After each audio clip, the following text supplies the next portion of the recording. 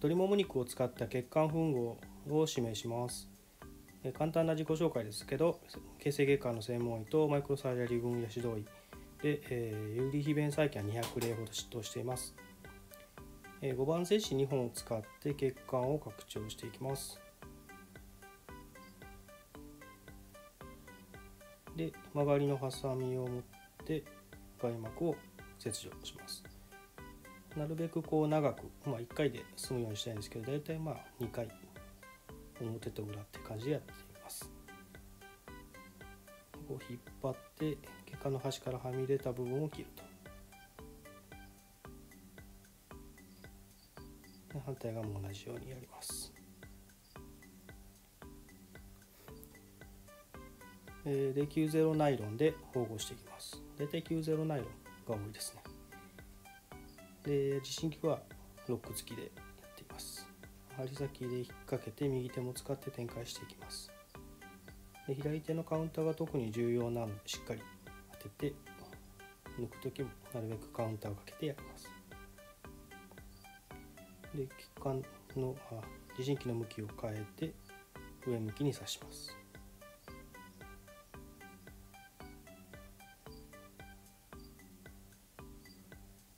糸の向きを整えながら引いていきます。で地震機は置いて5番接子に持ち替えて糸を結びます、えー、外科結紮から3回。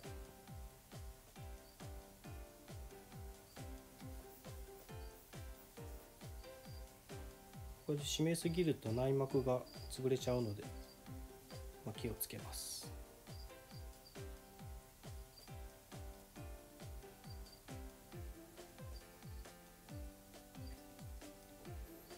次は手前を縫っていきます。しっかりカウンターをかけて刺すと。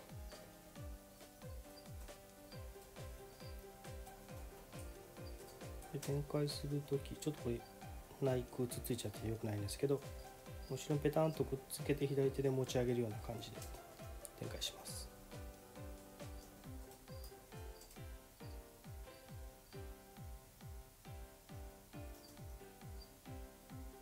で地震機は置いて5番接子に持ち替えて乗せます。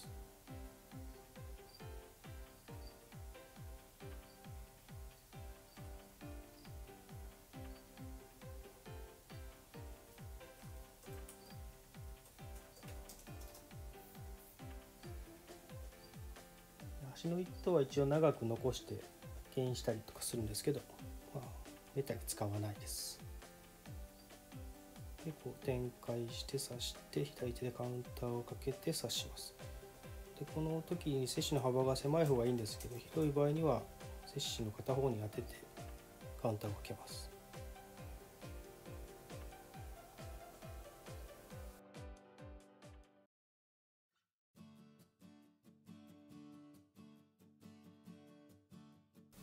あこれダメな抜き方ですね。お尻で血管損傷してしまいます。湾曲に沿った抜き方をします。でこの、縫う順番ですけど、まあ、僕は奥から縫っています。特に真ん中真ん中で縫う必要性を感じないっていうのとこう縫った方が、えー、こう奥から縫って手前から結ぶってした方が糸が絡みにくいかなと思ってるのでそのようにしてます。この手前を縫う時はまあ、ほぼ必ずですけど一回抜きます。針の向きが斜めに奥に行って戻るっていうイメージで刺してるので、まあ、大体このようにしてます。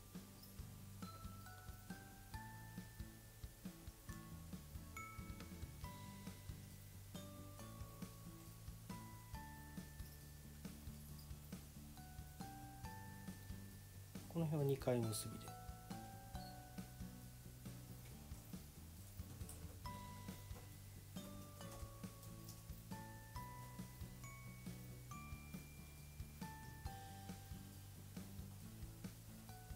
でひっくり返してえー、クリップが戻らないようにガーゼで留めておきます。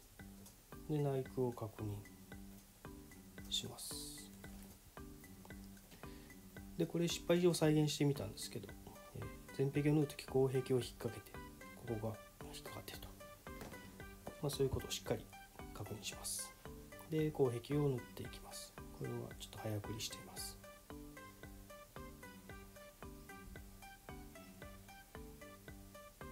後傾差がないので全然難しくなく縫えます。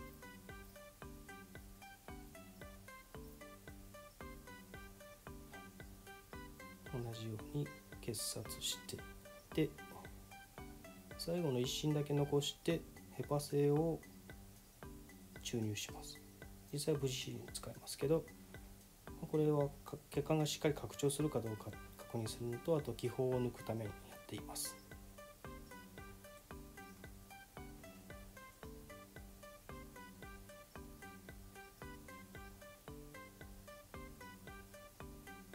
れで吻合が完了しました。だいたいいい感じに縫えてるかなと思います。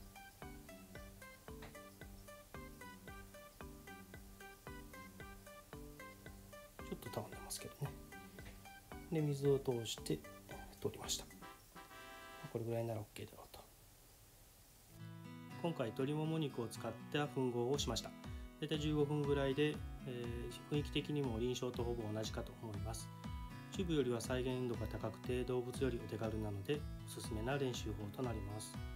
どうもありがとうございました。